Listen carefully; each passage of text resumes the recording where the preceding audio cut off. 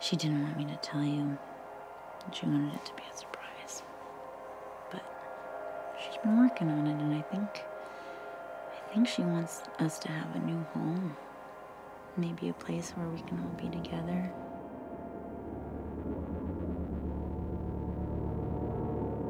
Where are you gonna go? With what money? With whose car? You know Jesse's gonna want to get out